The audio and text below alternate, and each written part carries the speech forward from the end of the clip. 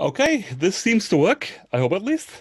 Um, we're back from the lunch break, and um, we have with us already waiting our first speaker for this block in the Brian Room. Uh, I'm going to invite, uh, let's see, does it work? Hey, I'm going to invite Philip Jones from Moneyed. Uh, Philip, where are you calling us from? Uh, London today in the UK. That's nice. And have you been working from home all the time? In, in the yeah. like like almost everybody. Um, you, are involved with a lot of uh, asynchronous um, um, projects like Quart Hypercorn, and where else do people know you from? Uh, was probably that, maybe from uh, helping maintain the Pallets libraries as well, but probably those if people know me. Yeah, and today you're going to show us how to do our own asynchronous uh, GI server from scratch, right? Mm -hmm. Yep. So we're re we're really looking forward to that. Uh, so you please start your screen share and show us how we can do this at home. Okay. So hopefully you can see if it's correct. Yep, I, presume you can see everything. I can't hear you if you can, but I'm hoping everything's good. So yes, so I'm going to talk today about building an ASGI server from scratch, uh, quite what that means and everything about it I'll explain in a minute. Uh, you can probably find the slides in quite a number of places at the moment, but uh, you can also find them on my site, which is pgjones.dev, excuse me. Uh, and you can find the slides on the talks page. I've also got some code to go along with this, which you can find on GitHub uh, under my name, PG Jones, if you look for ASGI server from scratch. So all the code I've got in these slides is also available on GitHub. So hopefully that will make things a bit easier. Uh, before I get into the talk itself, I'll just tell you a bit about myself. So uh, I think you already know about the bit of the open source work I do, and you can find me here. You can find me as PG Jones on GitHub and GitLab. And on Twitter, if you wanted to tweet me, you need to remember this extra D. I was too slow to get the PG Jones, so there's an extra D there. And uh, as was just said, I, uh, at the start of this year, I, I co-founded Moneyed, uh, which at the time seemed like a great time for it. Since then, it's proved a little harder. Uh, what Moneyed is, is it's uh, a financial tool for people in the UK. So what it provides you is financial planning tools and uh, guidance to effectively become your own financial advisor.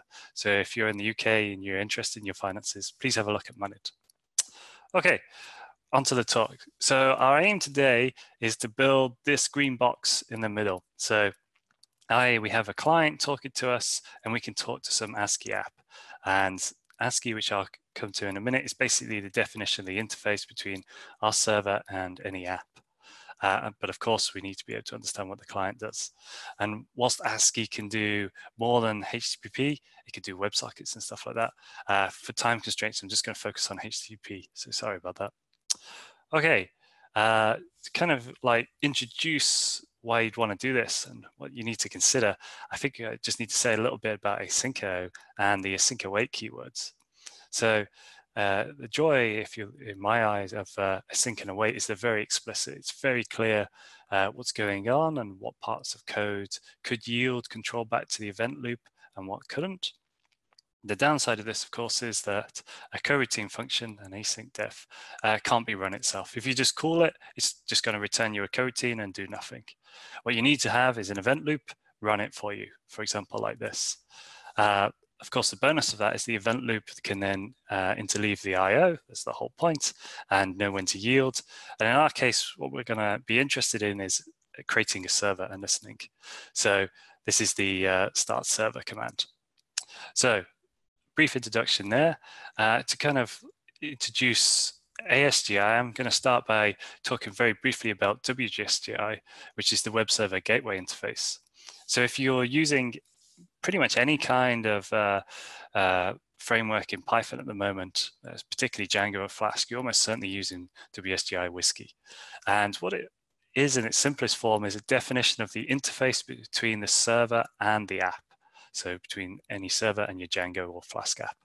And what it says is the server will call a, a, a callable that takes two arguments, an environ and a start response. So your app, at the very least, has to be this callable. And the environ is a dictionary that fully describes the request and start response is a callable that the your app uses to tell the server when it's ready to start responding. And this callable takes two arguments, the status and then a list of headers. And then this callable should yield or return the body. So if you're familiar with HTTP, the server figures out what the request is, uh, calls this callable, and then your app will start the response and return the body. So this is all very good. Uh, it's, it's, actually worked really well in the Python community, but you can see it's got no async, so it doesn't work with async await. Uh, and so your app can't be asynchronous. So this is where ASGI comes in, uh, which I always pronounce as ASCII, but I'm sure others do it differently, which is the asynchronous server gateway interface. And it's heavily influenced by WSGI, uh, as you can tell by the name. And to kind of uh, show the comparison with that, with the whiskey example I showed there, the interface is that you have a callable, this time it's asynchronous, that takes a scope and two more callables, a receive and a send. Now the scope is very similar to the environ. It's a dictionary that fully describes the request, but it doesn't say anything about the body this time. Now the application has to get the body by receiving it, so it can call this receive.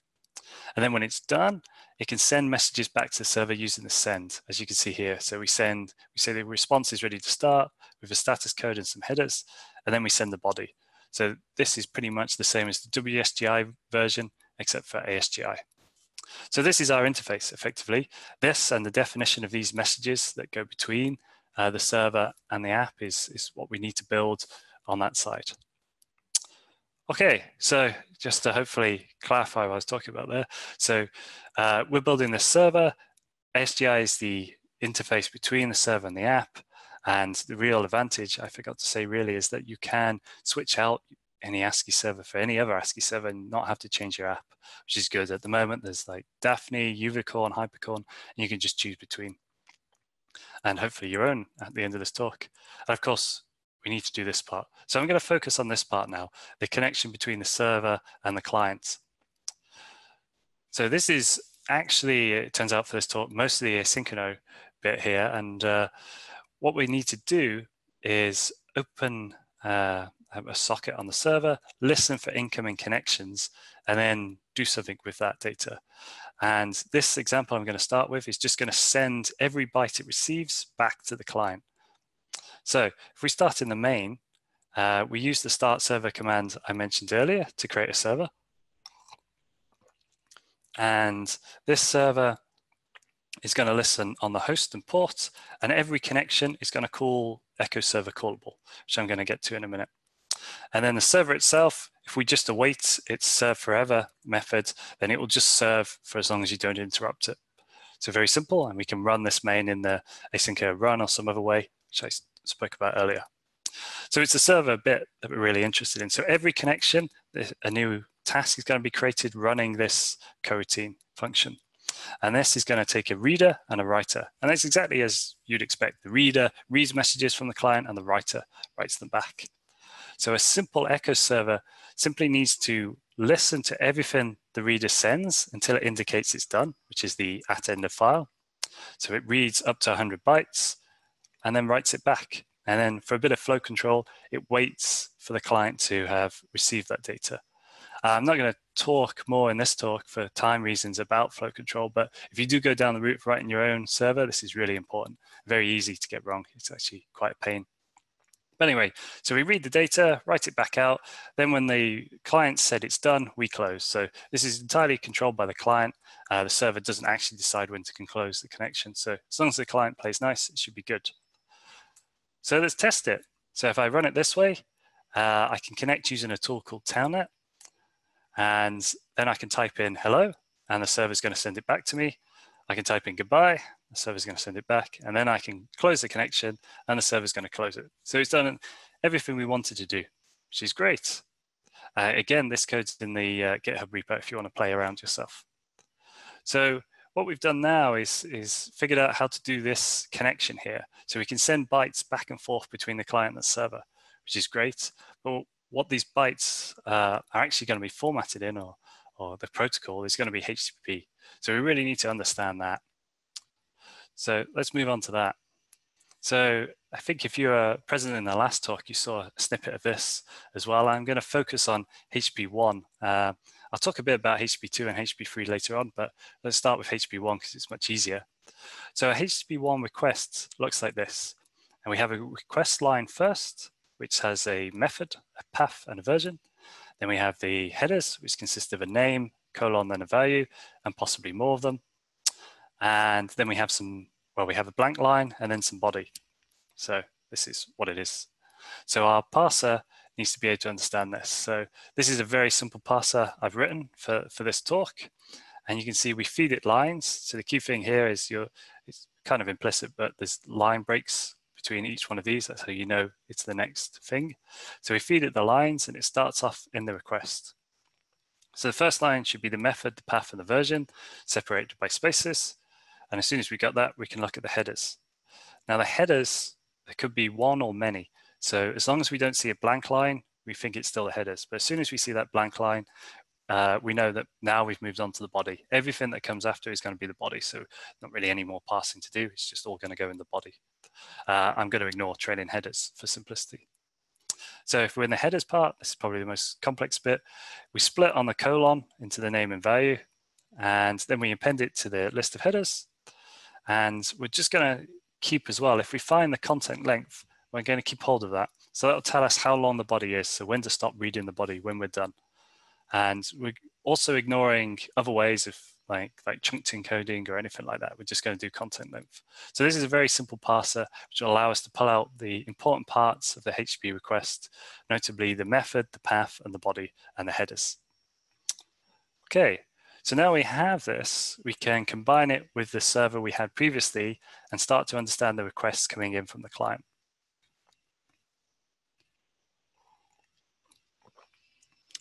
So this is it.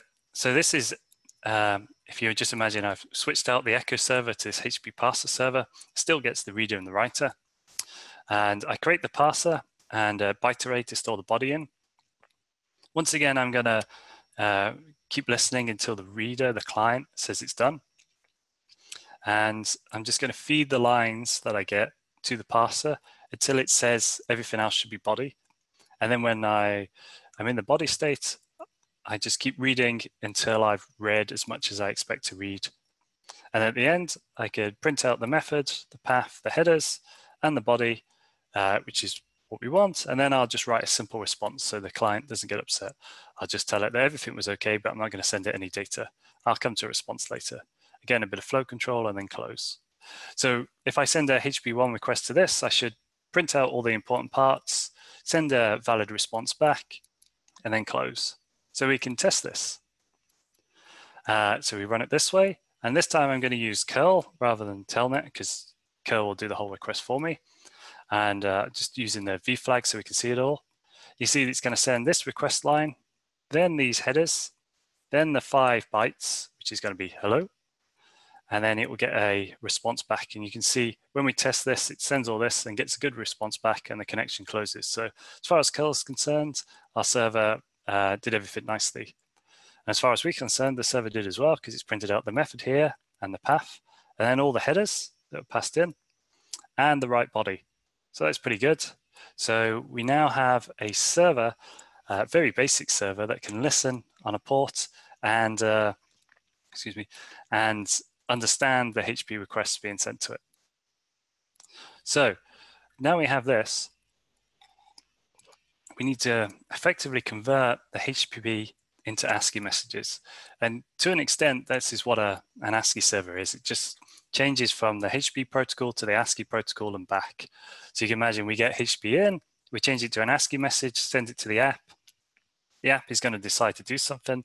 Uh, so if you can imagine if you're using Django, it will match the path, send it to the right handler. The handler will uh, do some logic, and then send a response. And that response is going to be a new ASGI message, which goes back to the server. And our server is going to have to turn that ASGI message into HTTP and send it back to the client. So that's what we're up to. So let's focus a bit on the app. Uh, sorry, I'll come to the app in a minute. Let's focus first on changing HTTP into ASGI. So I mentioned earlier on that the scope pretty much fully defines the request other than the body.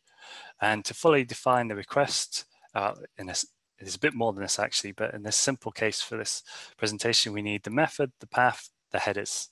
And you see the ASGI scope looks like this. You tell it it's HTTP, has a method, has the path information, and then the headers.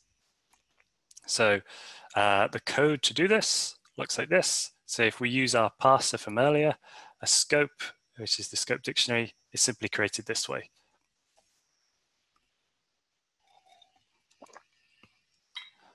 So that's great. So now we can tell the app about the scope, about the request, but we also want to be able to tell the app about any body. And that obviously isn't going to happen for a GET request, but for a POST request with some content, we, the client's going to send us a body, which is some bytes. Now the scope is created pretty much the same way as before, well, exactly the same. Uh, but now we can send extra messages to the client. And these extra messages are going to be uh, type HTTP requests. They're going to include some body. And for as long as the server thinks there's more body coming, we should set more body to true.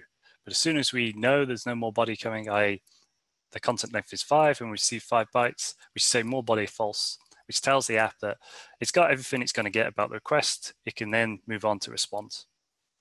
So the code, again, is quite simple. Uh, we just as a simple function, that takes a uh, takes the body bytes and a little flag to say whether there's more bytes coming or not. And we just create a message. And we can send this message to the app. And I'll show you how in a minute. Okay, now coming back, so the app has got everything it needs to know about the request. Now it needs to tell us how it wants to respond. So the app does this by sending a message uh, to us, to us as being the server, and that type is going to be the response start, and the status code, uh, usually 200, but it could be anything, and then whatever headers it wants to send. So this is the first message the, uh, the app will send back to the server when it's ready to respond. And the second message will be if it has any body. Uh, so if it doesn't have any body, this should be blank and more body would be false. But if it does, you can see it has hello in. And us as a good server should probably check that the content length matches the, the body it sent us. Uh, the one we're going to write today doesn't, but you can imagine that's a nice extension just to make sure nothing strange is going on. So just to summarize, uh, when we get a HTTP request, we create a scope and we pass that to the app. We call the app with the scope. We then pass ASGI messages defining any body to the app. The app's going to then decide what to do with that request and then send a response. And that response is going to be a start response message and then any extra response messages. And so that's the app process. So now I can actually tell you about the app itself. So this is a, a hopefully quite simple app, which is uh, very similar, I hope, to the Echo server we said earlier. It's basically going to echo out any body that's been sent to us, but now it's running over the HTTP protocol. So you can see, uh, in this case, we don't actually care about the scope. Uh, all we want to do is receive the messages from the server and get the body, basically. So every message we get, every event, we get the body out and extend our body copy. And then as soon as we're told there's no more body, we break out of this loop. So the server tells us about all the all the requests, all the body, and then we do something, do some logic. This could be, like I said, just like matching the path, uh, deciding which route to call. But in our Echo app, it's all we know that it's going to do is send the body back. So we start by saying everything's good, and we're going to send you the length for the body bytes back, and then we send it basically. So this is it, a very simple app that will just listen to all the messages from the server, build up a body, and then send that back to the server, expecting the server to then echo that back to the client. So now we have a test app to use, we can actually build our server and our server will call the app. So just to, to qualify here, what we just spoke about here was an ASGI app. You can use any ASGI app for it, but this one's kind of simple enough to show in the example. But what we're trying to build is the server. And what I'm going to focus on first is, is this flow. So I, I spoke through this, this kind of the messages come from the client and HTTP, our server turns them into ASGI and sends them to the app. So I'm going to focus on that first. And this is the code for it. So this is a, uh, a little bit more uh, code, so I'll take a while to talk through it. Again, it's another server, so very similar to the two we've spoken about before. It just takes a reader and a writer. We use our parser from earlier, and this time we create a queue uh, to put the messages we're going to send to the app. So this is this is what this is for. So to app, we're going to send to the app.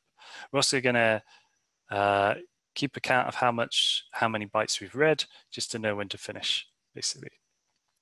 Uh, okay, so again, we're going to keep reading as long as the client hasn't told us it's done or there's a disconnection.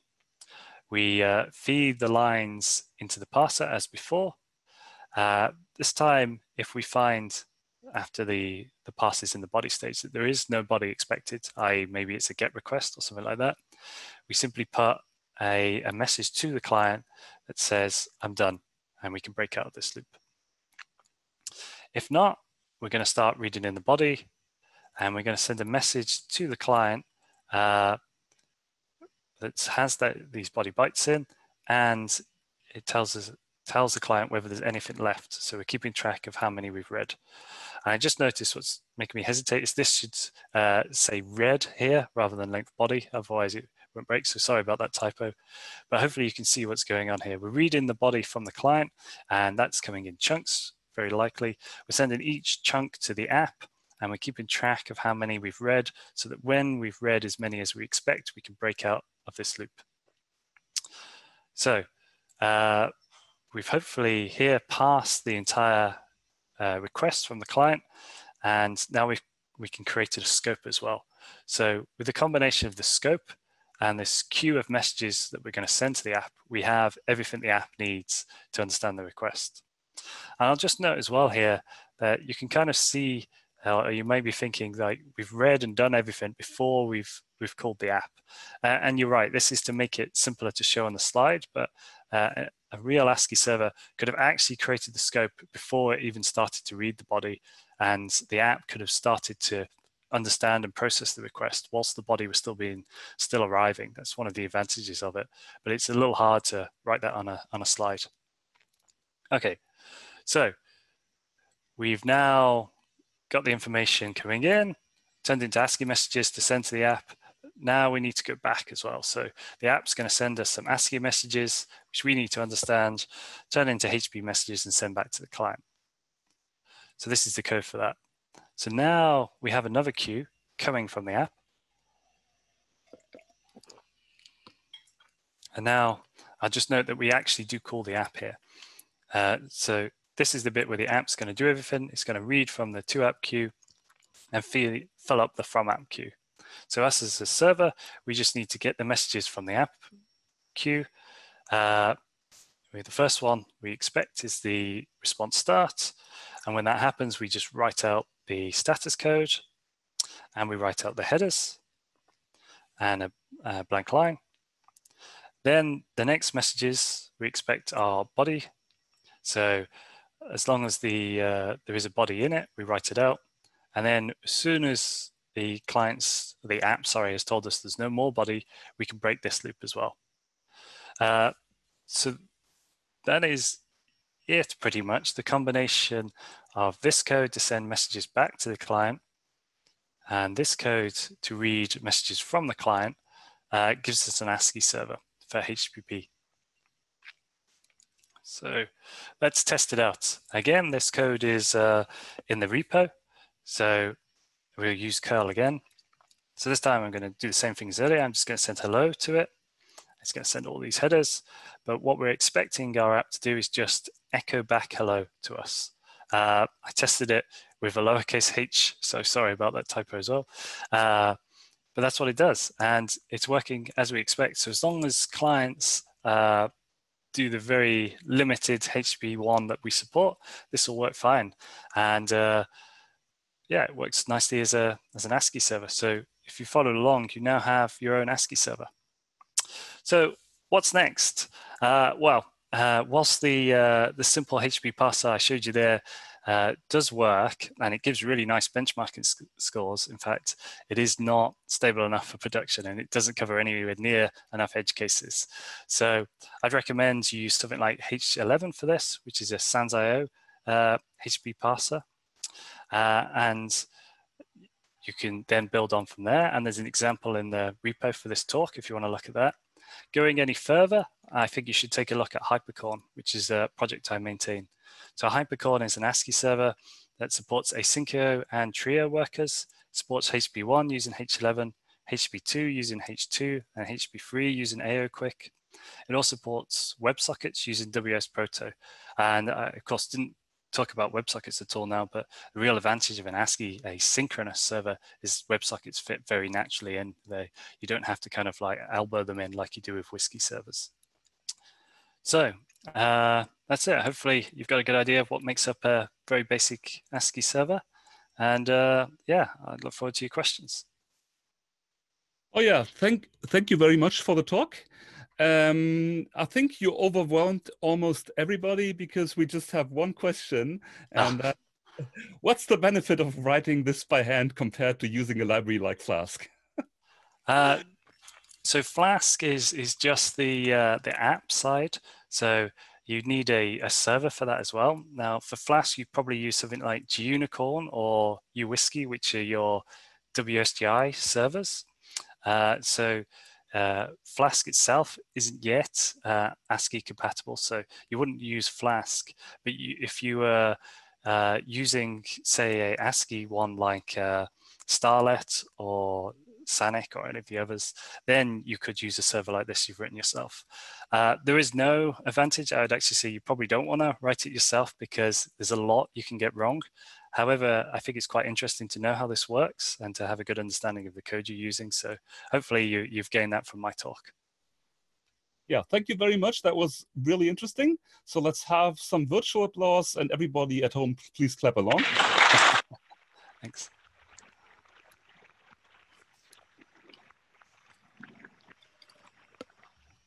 And just a reminder to everybody who wants to learn more about this, uh, there is a separate chat room for this talk called Talk ASGI Server. So if you press Controls uh, K and ASGI, you will find it on Discord. So if you have any further questions, you will probably be able to go there. But I see there's a last minute question uh, coming in, and we should ask that. It's why Django and would Django and Tornado be considered WSGI?